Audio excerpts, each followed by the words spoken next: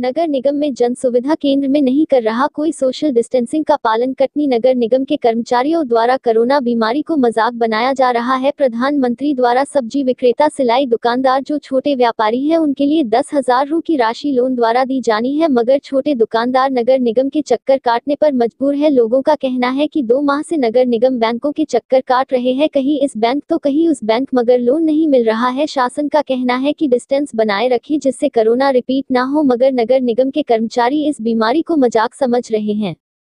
कटनी से प्रवीण कुमार पाराशर की रिपोर्ट।